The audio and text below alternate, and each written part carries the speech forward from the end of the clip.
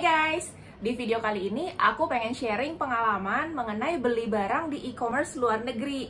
Pernah nggak sih teman-teman kepengen beli barang, terus ketika cek di marketplace yang ada di Indonesia harganya lumayan mahal dibandingin harga di websitenya atau kayak di Amazon, di eBay, dan lain-lain. Kemudian teman-teman mungkin bertanya-tanya, kalau kita beli di e-commerce-nya luar negeri, kemudian dikirim ke Indonesia, kira-kira ongkos kirimnya berapa? Kemudian kena pajaknya berapa? Nah, kebetulan aku baru aja terima paket dari Amerika.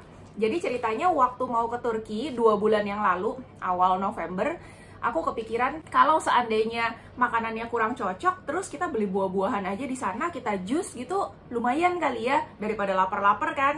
Jadi aku mulai searching tuh yang namanya portable blender atau blender yang kecil yang bisa dibawa-bawa dan gak harus dicolok untuk dipakainya.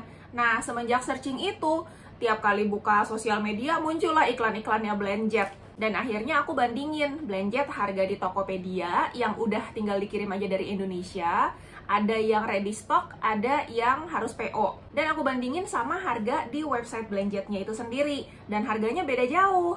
Jadi aku pikir berangkatnya kan masih tanggal 25 November. Pada saat itu searching-searching masih 5 November. Berarti masih ada 20 hari. Aku pikir cukup lah ya 20 hari order barang dari Amerika nyampe ke Indonesia. Ternyata nggak cukup. Jadi barang yang aku order tanggal 5 November 2021 sampai di Jakarta itu tanggal 23 Desember. 2021. Jadi butuh waktu lebih dari satu setengah bulan untuk nyampe paketnya. Untuk ongkos kirimnya sendiri free dari Blendjetnya, tapi begitu nyampe ke Indonesia kena pajak ya.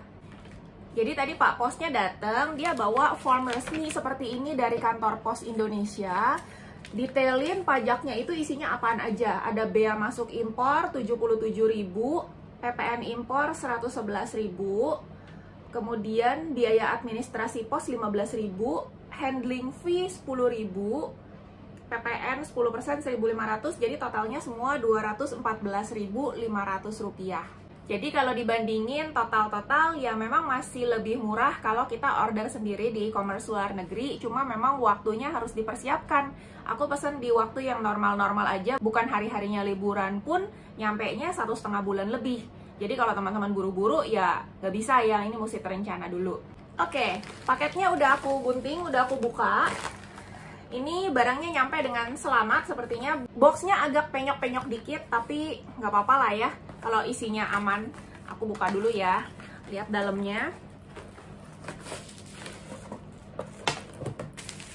Dalamnya aman, nggak pecah karena mereka memang packingnya juga bagus. Jadi sebelum masuk ke box itu mereka masukin ke bubble kayak gini. Bubble-nya juga lebih solid daripada bubble yang di Indo. Kayak yang kita biasa dapat dari marketplace gitu. Terus si tasnya ini tas insulatednya jadi kalau kita bikin jusnya dingin dia bisa tahan tetap dingin. Tasnya juga nyampe dengan aman. Coba kita cek berfungsi nggak ya? Belum di charge ini. Oh berfungsi berfungsi Lumayan, hampir dua bulan dia di jalan, baterainya masih ada. Semoga video ini bisa memberikan insight buat teman-teman yang pengen belanja online dari luar negeri. Kira-kira worth it apa enggak menurut teman-teman nunggunya sekian lama, kemudian kena pajaknya juga.